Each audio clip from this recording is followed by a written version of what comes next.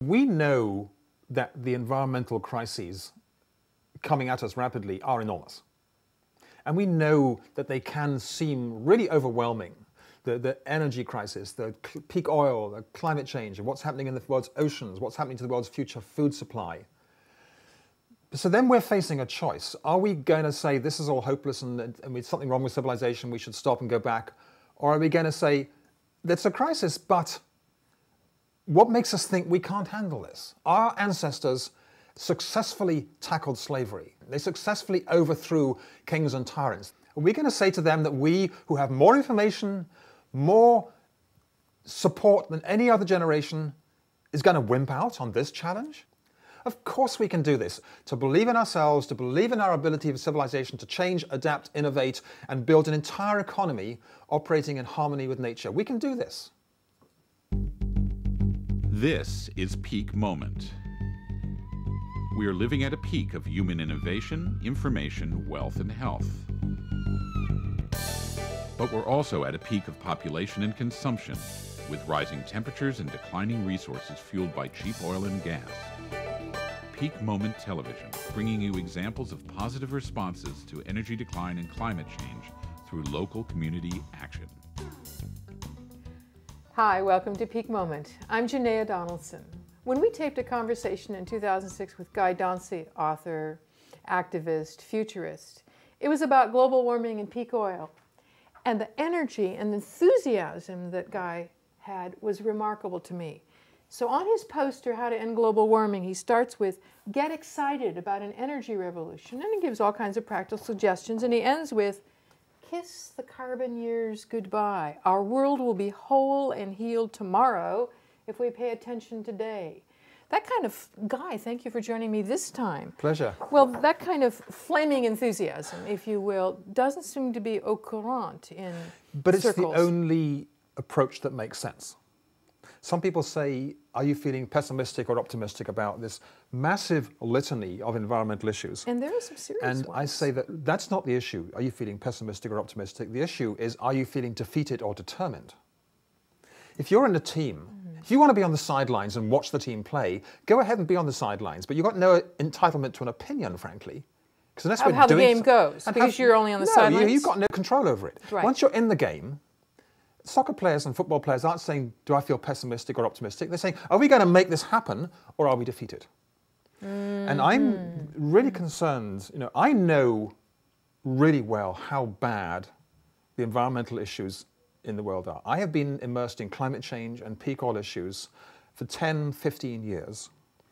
And the unpreparedness for peak oil, even the International Energy Agency folks are saying it's coming by 2020. The petroleum geologists are saying expect it very soon. And within climate change, we're right now heading towards you know, a, a global temperature increase of 3.5 degrees or so, you know, by mid-century onwards. And all of the upheavals we're having today are caused by, you know, less than one degree. This is Celsius now. in fact. Upheavals. Up- What- do you mean well, upheavals? For instance, the flooding in Pakistan and the Mm-hmm. forest fires in Russia from this summer of 2010 seem to have a common pattern that the jet stream stopped moving. It got frozen in place. And no one knows quite now why it got frozen in place. So it locked real heat over Russia, it locked real moisture over Pakistan. The phenomenal fifth of Pakistan underwater. Not just the floods, but their entire agriculture wiped out. Their chickens, their tractors, their grains, their, mm-hmm. their soil, everything. And it's see, there's a possibility, I can't put scientific back into this, that the melting of the ice in the Arctic is, is messing with the jet stream. Makes And we know that the Arctic ice is melting dramatically. So, Yes, so. I know that the, the news is bad, and that unless we act urgently on all this, we're not going to get progress. But when you're dealing with a huge struggle, you never get success on it by just going around saying it's going to be terrible, it's going to be terrible, it's going to be Mm-hmm, terrible. In World War II, in 1940, when Hitler occupied most of Europe, and Britain had been defeated at Dunkirk and just got their troops out, America wasn't in the war, it would have been really easy to say, let's make it a nil-all draw. You can have half of France, Mr. Hitler, and, we, and we'll just call it quits. There's Yes, still peace with Russia. Yes. And Churchill, with his cabinet, said, you know, we have only one outcome complete unconditional surrender. We cannot let democracy and freedom be trampled by this monster tyrant, Hitler. And Churchill said that if he'd recommended anything else apart from unconditional you know, victory, he'd have been thrown out of the cabinet room. And the whole of Britain felt that way. Wow. And so Determined. they didn't Yes. think, are we optimistic or pessimistic? And and mm-hmm. they, had, they didn't know on the ground how they were going to do this. Okay. They, on the rationally, and they didn't have the airplanes, they, they didn't have the troops, they'd been driven out of Europe. You know, Which would be a natural time to say, let's give up. Absolutely. The- okay. Yes, and they just come out of World War One Yeah. with so many people. That's why there was a delay in stopping Hitler because people were so exhausted by the defeat and suffering and death of World War One. So I know the dangers. I know the dangers of sea level rise, of extreme drought, extreme flood, of, of huge food disruptions, of coming hunger, of species disruptions. But th- the motivating force for everything I'm doing is the complete belief that humans have the ability to tackle these issues. So the reason, you know, the, the new book I just put together, The Climate Challenge, 101 Solutions to Global Warming, Okay. um, specifically, they're the crises and they're the solutions, specifically draws on our faith in ourselves to tackle crises of this kind. And I know that it's, it's, it's climate change. You can also do a whole program on what's happening in the world's oceans. Mm-hmm. The massive, I mean, decimation isn't a strong enough word, the destruction of the world's global fisheries, because we just grab, grab, grab, take, take, take, oops, it's empty, then they don't recover, right? And there's many, whether it's the world top salt or the gross consumerism, you could look at, you can make a big list of all these negative things and say, yeah.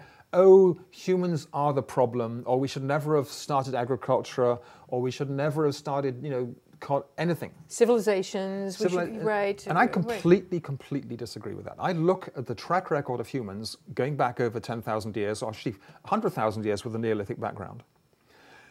We're part of nature.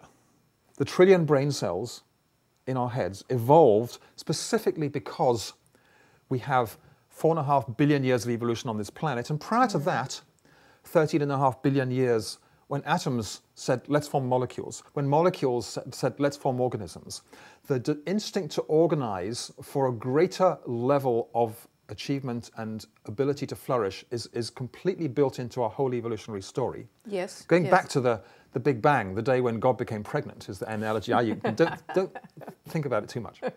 So, just in the last 500 years, we have chosen to eliminate slavery. We're close to you know, eliminating warfare.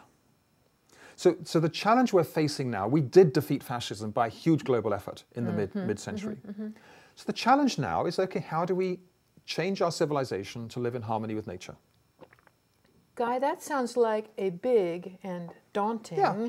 Job. I mean, it's like the, the, the, the, the reach of us consuming civilized humans, the billions over the planet, seems like this is more daunting than putting a man on the moon. But put this in context. When we decided that we were going to end slavery, uh, Yeah. three or four Quakers sat in a coffee house in London in 1746, something like that, said, Quaker is so abhorrent, we need to end slavery. All right. And within 100 years, they basically started to get traction on that. And the only means of communications were printed things and word of mouth. Right. So when I say our, one of our challenges or goals for this century is to establish our entire civilization so that we are in harmony with nature. Our whole economy is in harmony with nature. Big. A, it's a big challenge, but this time every single citizen in the world has got an iPhone or a cell phone or a computer can communicate with everyone else. Yes, so that's our true. ability to organize is not 10 times greater, it's a million times Mm, greater. We can get, you know, an instant action happening in 100 places in the world at one week's notice by the right organizer. So we have the communication do, networks. yes. That helps us a great deal. yes. We also have more scattering. I mean, there's the other side of that is how do you get and do think- those actions you know, help make a difference? the, the, s- there is a scattering of actions because we're very new to the massive information that comes at us through the internet. Yeah, So a lot of people are finding websites that say this climate change thing is nonsense. It's, Yes. it's a plot by European socialist countries to destroy democracy. It's a plot to take away my freedom. Yes. It's a, and it's not true. I have studied every single one of the skeptics' arguments. You can actually go to our website, skepticalscience.com, and see them all listed. Not one of those arguments stands up as a valid explanation for the known rise in temperature. And the climate skeptics change argument every single week. They'll mm. switch to a new argument when one is taken down. yes, all right. The world scientists, world climate scientists are sort of solidly in consensus. 97% of the world's you know, qualified climate scientists are saying this is happening and it's caused by humans, and so let's get on with doing it. the internet gives us the ability, though, to get into an internet bubble and only read the stuff from the climate Yes, deniers, and yes. only read the stuff from the Tea Party movement, and believe that is your reality. That's a, a problem we just will overcome in time because we're new to this massive explosion of information. So the more programs there are like yours, they can say, okay, the message is don't believe what you read or what you hear now. For your, just take it on. Don't take it for itself. Question it. Ask other. You know, look at other yes, sources. Is what he's saying valid? It teaches us to think for ourselves. That's the Right. biggest challenge. All of us That have to think for ourselves. And so communications like this are important. So the reason I put the book together with 101 solutions is it goes into great detail. So if you want to know what a business can do, there's 10 solutions. If you want to know what a city government can do, what do we do about transport? How do we solve for energy? How do we stop burning all fossil fuels? It's not just oil. Sure. If we Okay. focus on oil alone and only on peak oil, we can burn more coal. We can burn more gas. There's the tar sands oil. You can do all sorts of things that are really bad for the planet to put off the day when the oil runs out. But meantime, climate change comes on and knocks you completely on the head because climate change trumps peak oil. I was going to say, it trumps everything, doesn't it? it trumps everything in the bigger frame. Okay. The single dangerous card that peak oil carries is its immediacy. It's going to come quicker and faster and suddenly, but it's only going to hit people on lower incomes. The whole of Europe is driving around at twice the price of gas, quite happily. But if you're on low income and you You've- can't drive to work anymore, you've got to do a huge change inside your head and pick up the phone and say, Can I ride share? Yes, Now- yes, yes. So, one perspective, that's not a big change. That's how easy can it be to say, let's ride share, and suddenly you've got a fourfold reduction in oil needed. And the other change, which is remarkably easy and not much talked about, is stop eating meat or reduce the amount of meat you eat. When it comes to climate change and oil reserves, All right. Um, the cl- eating meat, the world's livestock industry, is causing up to 20% of the cause of global warming. Really? And all of the transport, all the flying, trucking, driving is only, you know, 14, 15%. So you're saying that the the the globe is this agribusiness or just you know raise? Tell it's me. agribusiness specifically. I mean, Mm, mm if you're going to mm, eat meat mm. and you say, I like my meat, I'll cut it down to three days a week, but I want to get locally raised, pasture raised organic beef, far lower impact. But right now, the mass produced beef, when it's around the world, fed by soy crops, 97% of the world's soy is going to raise livestock. And the reason why the Atlantic rainforests in Southern America and the Amazon rainforests are being destroyed is because of the, the soy farming to feed livestock, to feed animals. to feed humans. And 70% of the world's farmland is being used to raise animals, right? And so even if you wanted to go down the route that no one talks about, biofuels for, for transport. Right, If right. You, you know, right now, if the world did biofuels for all transport, we need three times the entire world's farmland. So we're not going to go there. Yeah, right, But say we needed biofuels just for flying or ocean shipping and stuff like that. For flying, you could get it with under 1% of the world's farmland. If you have biofuels made from algae, right? Oh, okay. All right. Using, but because uh, biofuels made from algae need 50% less land. F- sorry, 50 times less land than biofuel from ethanol. Wow, So it's a that's a big, big difference. But there's some, still some unknowns around the algae equations, and- but okay. it's a huge lot of excitement around there. But say you need to take, you know, 5% of the world's farmland to grow fuel for purposes where electric vehicles and plug-in hybrid electric vehicles don't work yes. Yes. all you got to do is eat, eat vegetarian one day a week and you free up the farmland. Plus the fact that the world food crisis is going to be so enormous. This summer, Russia's not exporting grain. Pakistan has gotten, it's lost its farmlands. The more we eat meat, the more we starve other people. We often don't make that connection. No, no. I, I've been at environmental groups who make a huge point. We're never going to fly. We'll all get the train and they'll serve hamburgers at their barbecues. We don't make the connection. Well, that's a, you know that's hmm, a challenging thing because you're threatening our lifestyles, if But you it's, the, will. but it's the easiest of changes to make. Sure. Because also, because I did the work on cancer, the more meat you eat, the more cancer you get. The more Mm. vegetarians have less cancer, live longer, are healthier. So if you just value, you know, your grandchildren, your own life, so there's a threefold argument to eat less meat for your own health, to lessen hunger around the planet, because there's more land available to grow grains and rice and fruits and vegetables, mm-hmm, mm-hmm. and to reduce the cause of climate change. And the oil that's needed to raise a cow for beef is a way out of proportion for the beef that comes out of it. So there's a fourth reason. So you're talking at the level of, of what we can do change Yes. on the individual level, which are critical. And I, I would Yes. I would bet, but your book covers cities Absolutely. and you know the Yeah. scale, the whole so, scale so for businesses, I've got the detailed what businesses need to do if you're a business in the retail sector, or if you're in the forestry sector, or you're in the media, or if you're an architect or builder.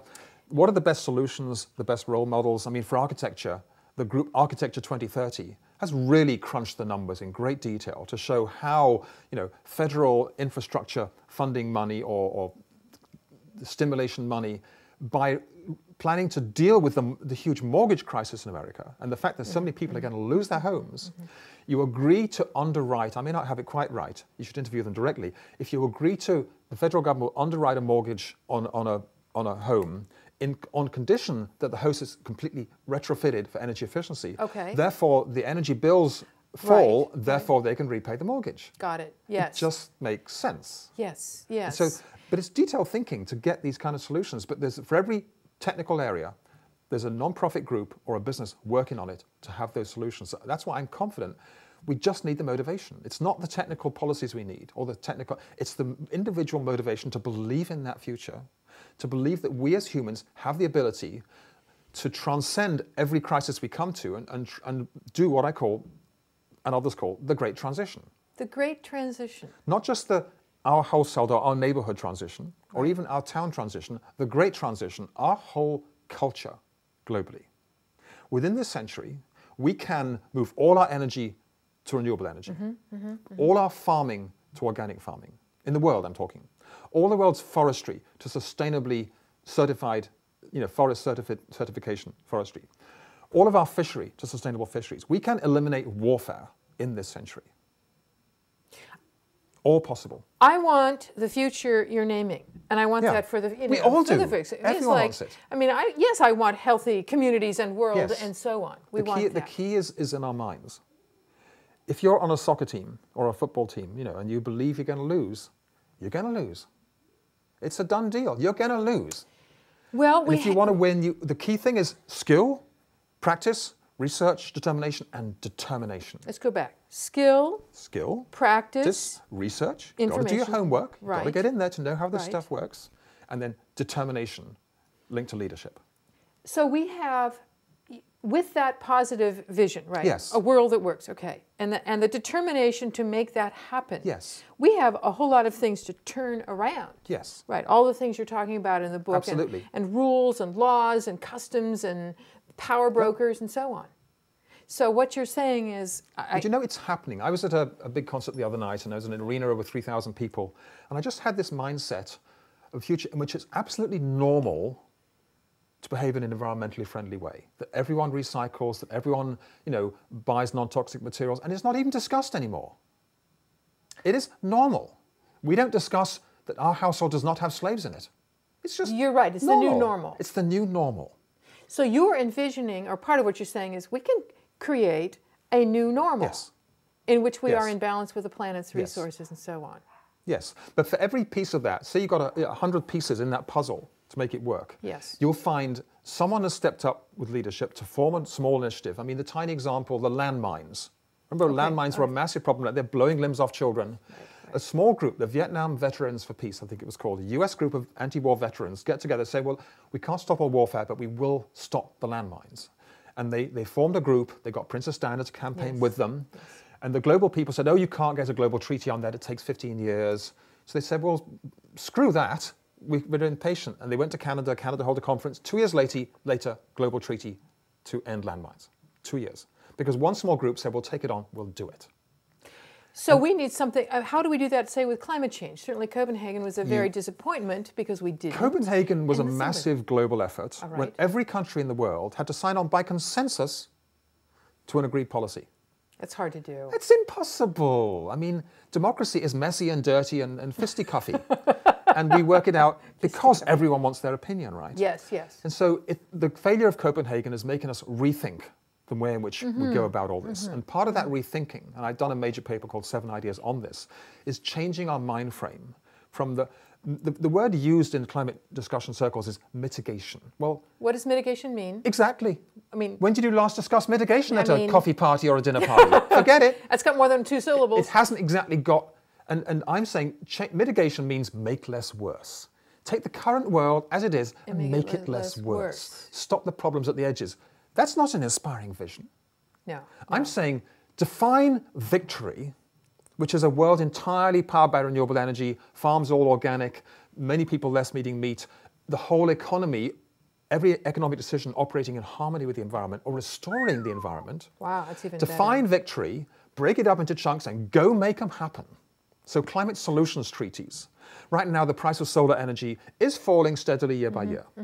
It's because of, of, of it's bulking up and it's getting more efficient. But if we had 30 countries in the world sign on to a climate solutions treaty saying we will get 15 gigawatts online this year, we'll get 20 gigawatts on the year, we can increase the, the progress from 40% per annum to 60% per annum Yes, and yes. drive forward the date of what's called, you know, um, when, when the, it's uh, grid parity or solar parity, when the prices are equal, you bring it forward by yes, three or four yes, years. Yes, yes. When, when the investors see it coming forward, say, okay, now I can invest 300 million in that because I know that once it goes bulk, everyone with a roof is going to say, I'll have solar because it pays for itself. Got it. Yes. And you can, right now, we're depending on market forces hmm. plus hmm. California, Germany, Spain, and Japan to do all the heavy lifting, and now China. If, if 30 nations did the heavy lifting, we accelerate progress. The same for electric vehicles, Mm-hmm. the same for efficient mm-hmm. appliances. Why don't we have a global efficient appliance treaty that we don't produce inefficient appliances anymore? The same for development of things like biochar on the farming. The same for all these pieces. Define success, get tr- nations to sign on to a solutions treaty, and go out there and make it happen. Okay. Because the okay. solutions add up. There's enough energy available. And what I hear you saying, though, you're working at the level of it's not just enough in our households, good, but not enough in our personal lives and our households, not just enough in our neighborhoods, but doing it in, a sense at all scales. You've got to tie into your government. You've got to tie into get government policy at the municipal level, the state level, the mm-hmm. federal level, mm-hmm. and frankly, the global level. Now, 98% of us are never going to go near the global level, but we can sign on to other organizations that are doing them and, and give them support. Mm-hmm. So it's for most people, it's to move from well, if it's your household, it's your neighborhood level and your city level. How do you get a whole community organized? How do I, I mean, just to organize a street party on your street, get all the neighbors talking to each other, meeting each other, Yes, yes. and yes. then if you have a house that's got solar panels on it, that's got efficient light bulbs, you're doing composting, you're growing growing food, come and see what we're doing. Yes, And yes. people say, that's fascinating. I've always wanted to do that. How do you do that lasagna mm-hmm. bed? How do you do the composting? How do you get your children to, to, u- to turn the lights off? All those questions. Yes, yes. Then you'll find three or four neighbors who enjoy talking this stuff together. And you say, let's challenge the next door street to a little contest and we'll have fun together. Who can get the most, your little checklist of the recycling, we're not doing pesticide sprays around the garden. We're biking where we can, biking, yes. we're, we're composting, blah, blah, Right, blah. right, we're putting right. solar hot water panels on the roof and you have a fun, then you get the media involved.